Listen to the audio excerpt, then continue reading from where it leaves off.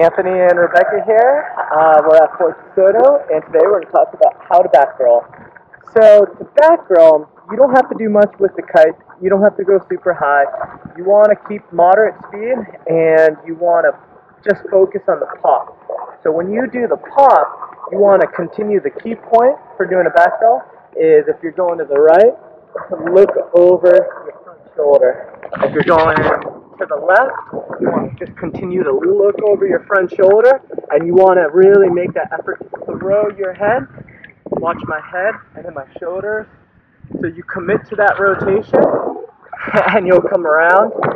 Keep your legs tucked. Alright, so the kite could stay kind of high. Once you come around, you feel yourself coming around, start to steer the kite in front of you. We can take a ride, we can take it slow. The boss, cause I'll go where you go.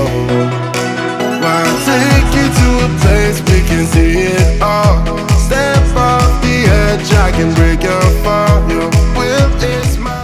Alright, the key point to the back roll is to continue to look over your front shoulder and keep tucked in. So let's go ahead and take a look at Rebecca.